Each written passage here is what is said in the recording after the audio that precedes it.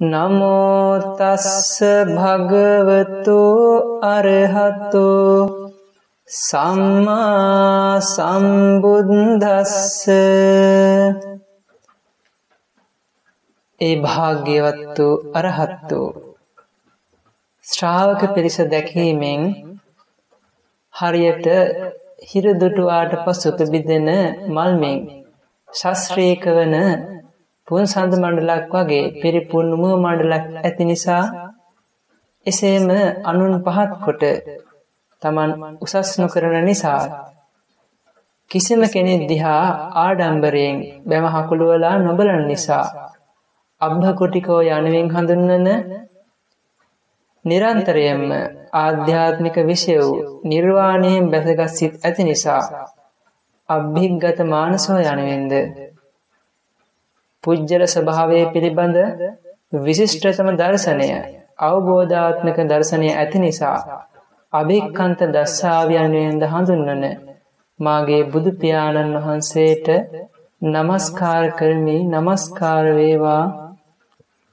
අති උත්තමනීය පන්සීය පනස් ජාතක පොත් වහන්සේගේ එකසිය විසි එක්වැනි කුසනාලි ජාතක දේශනාව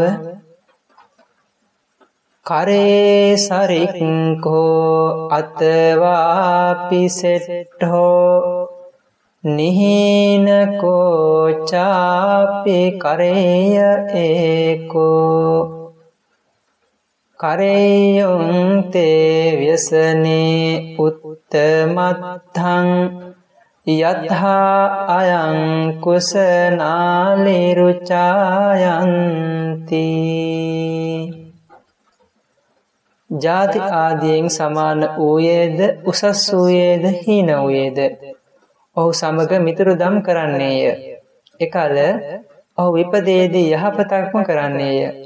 බුරුත ගසෙහි උපන් මාද දියබෙරළිය ගස උපන් කුසනාලිද මෙනි. කුමන මිතරකු අප අතහැර ගියත් සැබෑම මිත්‍රයා වන බුදු පියාණන් වහන්සේගේ ශ්‍රී සද්ධර්මය ශ්‍රවණය කිරීම නම් වූ සැබෑම මිත්‍රයාට සමීපවීම නම් වන මේ උත්තම ක්‍රියාවෙහි නැත්නම් මේ සද්ධර්ම ශ්‍රවණයේ යෙදී සිටින්නට තරම් වාසනාවන්ත වූ සිත් පහළ වෙන සිතක් ඇති වාසනාවන්ත පින්වත්නි. අපි දැන් මේ මොහොතේදී සූදානම් වන්නේ අති උත්තමනීය 550 ජාතක පුත් වහන්සේගේ 121 වැනි කුසනාලි ජාතක දේශනාව ශ්‍රවණය කරන්නට. ගාථාව අර්ථය දැනගත්තා. වචනාර්ථිම සහ බැලුවොත්. කරේ සරික්කහෝ කියලා ප්‍රකාශ වනානේ. ඒ කියන්නේ ಜಾති ආදියෙන් සමාන අයත් එක්ක මිත්‍රකම කරන්න ඕනේ. අතවාපි සෙට්ටෝ ඒ වගේම ಜಾති ආදියෙන් Tamanට වඩා උසස් වූ අය සමගත් මිතුරුකම කරන්නට ඕනේ. සියල්ලෝම මිත්‍රයෝ කළ යුත්තේ කියන අර්ථය. මක් නිසාද යත්. එකන්න තමන්ට වඩා උසස් පහත් සමාන. මේ හැම දෙනත් එක්කම මිත්‍රකම කරන්නට ඕනේ. කුමක් නිසාදයත් කරයොන්තේ වෙසනේ මේ සියල්ලෝම තමන්ගේ මිතුරාට ඉපතක් පැමිණි කල්හි තම තමන්ට පැමිණි. බරක් වගේ සලකලා ඒ බර උසලමින් යහපතක් කරනවා. සිරුර පිළිබඳව මනස පිළිබඳවත් ඒ සියලුම දුක්වලින් තමන්ගේ මිතුරාව නිදහස් කරනවා කියන අර්ථය තමයි මෙයින් දක්වන්නේ හීනයාද මිතුරු කළ යුත්තේය. අනෙක් දෙදනා පිළිබඳ කියනු කෙම කියන අර්ථය මේ තුළින් දැක්ගන්නට පුළුවන්. යතා අයං කුසනාලි රුචායන්ති. මම දැන් මේ බුර්ත ගසේ උපන් දෙවියා. අනිත් තැනැත්තා දිය බෙරළේ ගසේ උපන් තෙද අඩු දෙවියෙක්.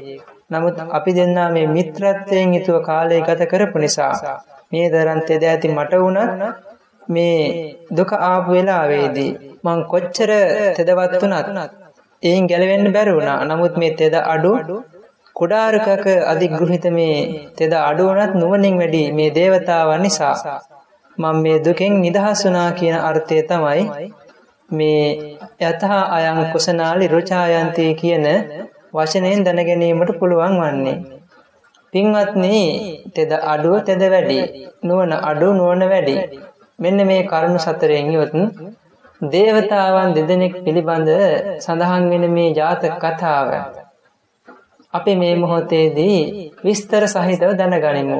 සත්‍යයට වඩා බොරුව මිත්‍යාව ආදිය කලවම් කරලා අනේකාකාරයෙන් මේ දේව කතා ආදිය අසන්ට ලැබෙන සමාජයේ දෙවියන් දෙදෙනෙක් පිළිබඳ කියවෙන සත්‍ය වූ යථාර්ථවාදී වූ ආදර්ශයක් ගන්නට පුළුවන්.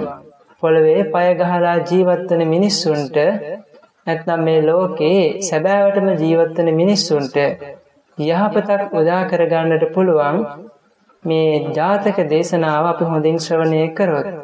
අපට මේයින් මහා යහපතක් උදා කරගන්නට පුළුවන් වේවි.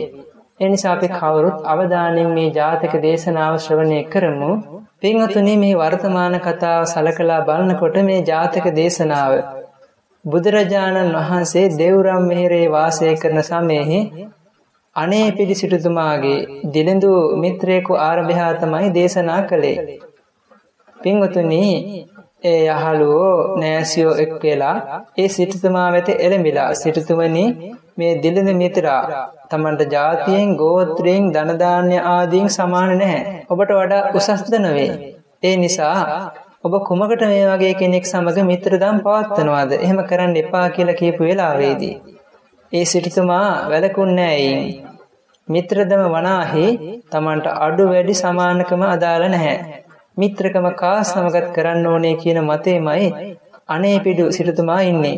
ඒ විදිහට ප්‍රකාශ කරලා ඒ තමන්ට ධනයෙන් කුලයෙන් මේ අඩු තමන්ගේ මිත්‍රයාව තමන්ගේ ධනයේ ආරක්ෂකයා ලෙස යොදවලා තමයි ගියේ. පින්වතුනි මෙහි ඒ කියපු විස්තර සියල්ලම කාලකන්ණි පුවතෙහි ඒ කියන්නේ කාලකන්ණි ජාතක දේශනාවට අදාළ පුවතෙහි සඳහන් වෙලා තියෙනවා. ඒ නිසා අනේ පිළිසිටුතුමා විසින් අවසානයේදී ඒ ගමන ගිහිල්ලා ඇවිල්ලා ඒ තමන්ගේ මිත්‍රයාගෙන් වෙච්ච යහපත ඒ කාලකන්ණී ජාතක දේශනා සඳහන් වෙන ආකාරයට ඒ සියල්ල බුදු පියාණන් වහන්සේ දක්වපු වෙලාවේ බුදු පියාණන් වහන්සේ ගෘහපතිය මිත්‍රයාණන් හීන නොවේ. මිතුරුදම රැකීමට හැකි බවම ප්‍රමාණ වේ. මිත්‍රයා සමග තමා සමාන වුණත් හීන වුණත් උසස් වුණත් ඒ මිත්‍රයාව පිළිගන්න ඕනේ. ඒ සියලු මිත්‍රෝම තමාහට පැමිණි කාර්යය ඉටු කරලා දෙනවා ඒ නිසා දැන්වනාහි ඔබගේ දිලිඳු මිතුරා නිසා ඒ ගෘහ අයිතිකාරයෙක් බවට ඔබපත් වුණා. නැත්නම් ඔබේ ධනය ආරක්ෂා වුණා. ඒ පැරණි අය නිසා තමන්ගේ ධනයත් ආරක්ෂා කරගන්න පුළුවන් වුණාට ඉස්සර කාලේ තමන්ගේ ඒ අඩු මිතුරෙක් නිසා එක් දේවතාවෙක් විමානයකට පවා හිමකරුවෙක් වුණා කියලා මතක් කරපු වෙලාවේ අනේ පිළිසිටුතුමා වෙත බුදු පියාණන් වහන්සේ මේ අතීත ප්‍රවෘත්ති දේශනා කරනවා.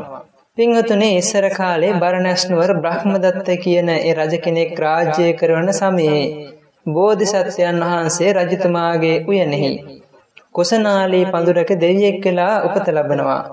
ඒ උයනෙහින් පින්වත්නි ඒ මග්ගුල් ගල් තලාව ඇසුරු කොටගෙන බොහොම ඍජු වැඩිච්ච කඳින් ඒ වගේම සාකා වලින් අනුසාකා වලින් බොහොම විරාජමාන වෙත්ත බොහොම තෙදවත් තෙරඹු ගසක් තිබුණා.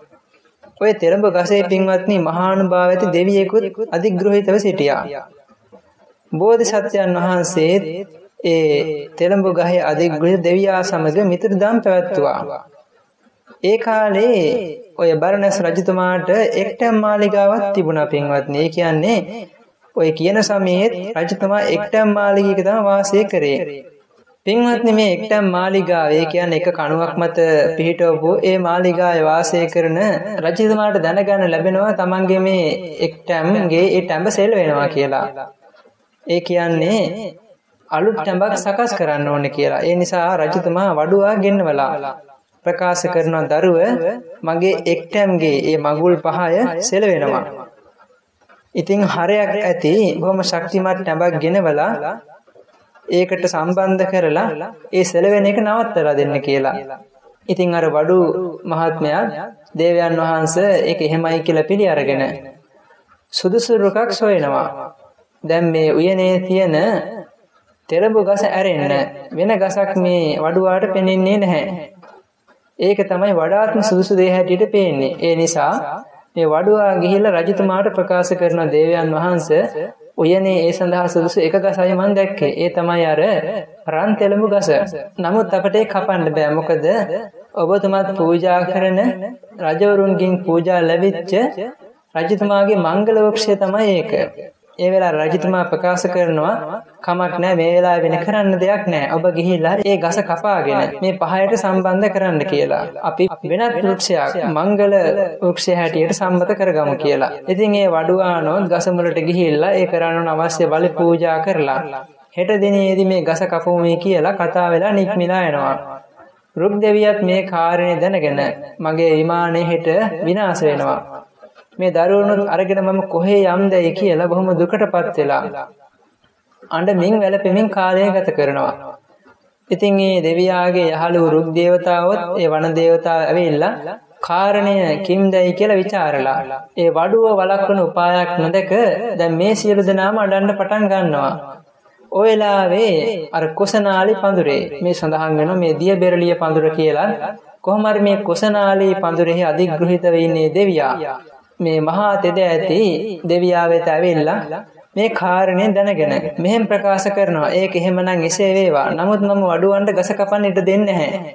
හෙට වඩුවන් ආපු වෙලාවේ මා කරන ක්‍රියා බලන්න කියලා කාගෙත් මේ බිය නැති කරනවා. ඒ සියලු දෙනාම ආශ්වාසනවා. දෙවෙනි දවසේදී පින්වත්නි අර වඩුවන් ගස කපන්නට ආපු වෙලාවේ බෝධිසත්වයන් වහන්සේ මේ බෝධිසත්ව දේවතාවන මොකද්ද කරන්නේ? කටුසු වේශයක් අරගෙන උන්ට පේන්නම අර ගහේ මුල් අතරින් ඇතුළට යනවා. එහෙම ගිහිලා අතුරු දහන් වෙලා අර ගහේ මුදුනෙන් මතුවෙනවා. ඉතින් මේ පිරිසට මෙහෙම කරන්නේ මේ ගස මැද්දෙන් යන්න පුළුවන් කියලා දක්වන්නට. ඒ කියන්නේ මේ ගස හරයක් තියෙන ගසක් නෙවෙයි ඇතුළ හිස් ගසක් කියලා පෙන්වන්නට. ඉතින් මේ විදිහට මුලින් නික්මෙච්ච මේ කටුස්සා අර ගස මොඳුනට වෙලා හිස හොලව හොලවා ඉන්නවා දකින මහවඩුවා ඒ කටුස්සා දැකලා අතින් මේ ගහට තට්ටු කරලා කල්පනා කරනවා මේ ගහේ හරයක් නැහැනේ. අපි හේතුව නොදැන බලි පූජාත් කරානේ. හරවත් මහා ගහක් අපි හොයාගන්න ඕනේ කියලා මේ ගහට නිඳා කරලා යන්ට යනවා. මෙසේ පින්වත්නි රුක් දෙවියා බෝධිසත්වයන් වහන්සේ නිසා විමානයට හිමිකරුවෙක් වුණා. ඒ කියන්නේ තමන්ගේ විමානය බේර ගන්න පුළුවන් වුණා. ඉතින් ඔහු ඇසුරු කළ අනෙක් රුක් දේවතාවොත් මේ රුක් දෙවියාගේ තොරතුරු විමසීම සඳහා එක් වෙච්ච වෙලාවේ අර රුක් දෙවියා තමන්ගේ විමානය ලැබීම නිසා සතුටටපත් වෙලා ඒ දේව සභාවේ බෝධිසත්වයන් වහන්සේගේ ගුණ ගයමින් පින්වත්නි අපි මහා තේජස් ඇති දෙවියෝ වෙලා ඒ විදිහේ දෙවියෙක් කියලා ඉපදලා හිටියා. නුවණ නැති නිසා අපිට උපායක් තේරුම් ගන්න බැරි වුණා. නමුත් මේ දියබෙරළිය රුක නැත්තම් මේ කුසනාලි පඳුරට අධික ගෘහිත මේ තෙදින් අඩු. නමුත් නුවණින් වැඩි මේ දෙවියා. මා මේ ඉමානෙට හිමකරුවෙක් බවට පත් කරා. මෙන්න මේ කාරණය දක්වමින් ඒ පිරිසට අවවාද කරනවා. තමන්ට වඩා අඩුවත් තමන්ට වඩා සමාන වුණත් තමන්ට වඩා උසස් වුණත් මිතුරෙක් නම් ඇසුරු කරන්නට ඕනේ. මොකද ඔහු සිය ශක්තියෙන් තමන්ගේ යහළුවන්ට දුකක් කරදරයක් ඇති වෙච්ච වෙලාවේ ඒ සැප ලබා දෙන්න කටයුතු කරනවා. ඒ නිසා මේ මිතුරු දහම වර්ණනා කරලා කරපු ගාථාව තමයි බුදු පියාණන් වහන්සේත් මේ ජාතක දේශනාවේ දක්වන්නේ අපි ඒ අය මුලින් ප්‍රකාශ කරේ. ඉතින් මේ ආකාරයට මේ దేవතාව දෙදෙනත් තමන්ගේ ආය අතීතෙක් ඒ කාලය ගත කරලා අවසානයේදී කම්මෝ පරිද්දෙන් ඒ චුත වී යනවා. පින්වතුනි මේ විදිහට මේ ජාතක දේශනා අවසන් වෙනවා බුදු පියාණන් වහන්සේ අවසානයේදී. ඒ ප්‍රධාන රුකෙහි දෙවියා ආනන්ද ස්වාමීන් වහන්සේ හැටියටත් අර කුඩා රුකෙහි හෙවත් කුසනාලි ඒ රුක්ෂයට අධිග්‍රහිතව හිටපු දෙවියා නම් දැන් මේ බුදුබවට පත්ව සිටින මම්ම වේදයි කියලා තමයි ඒ පූර්වාපර සංදි ගල්පා වදාරා මේ ජාතක දේශනාව අවසන් කරන්නේ.